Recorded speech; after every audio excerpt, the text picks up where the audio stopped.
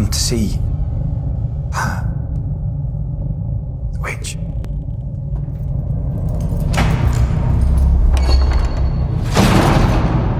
I'm going to tell you what I tell everyone who walks through my door looking to see her.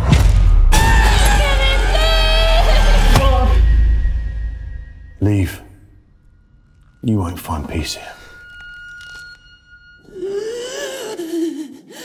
Two minutes. Go.